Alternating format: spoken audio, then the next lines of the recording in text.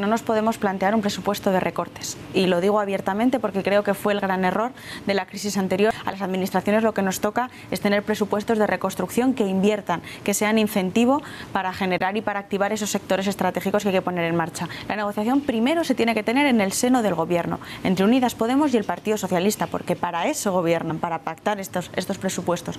Una vez que hay un acuerdo de gobierno, hay que sacarlo primeramente a aquellos que han permitido que tú gobiernes, por cierta lealtad. Y en última instancia, si no hubiera acuerdo, es cuando hay que abrirse a otras formaciones, pero teniendo claro que tiene que ser un presupuesto de reconstrucción ambicioso y progresista. Y todas aquellas fuerzas que se quieran venir a estos consensos sociales que ya están en el gobierno, pues bienvenidos sean.